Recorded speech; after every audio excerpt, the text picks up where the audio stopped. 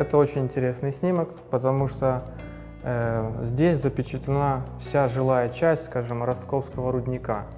Вот этой вот территории, которая на переднем плане, ее уже на самом деле нет. Здесь сейчас находятся отвалы Глиеватского карьера, Цыгока. Из всех объектов, которые здесь представлены, сохранились лишь небольшая часть, ну, из тех таких грандиозных, как церковь, там, скажем, какие-то постройки.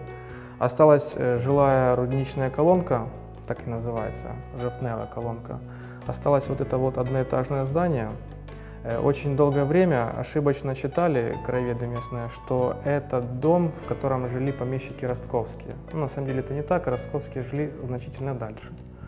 Э, От церкви, конечно же, ничего не осталось, э, осталось только место, там сейчас какой-то склад, какое-то предприятие.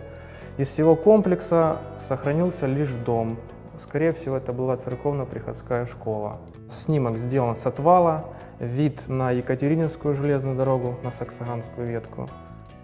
Э, Также, чем еще интересен этот снимок, тем, что вот здесь запечатлена первозданная природа Криворожья.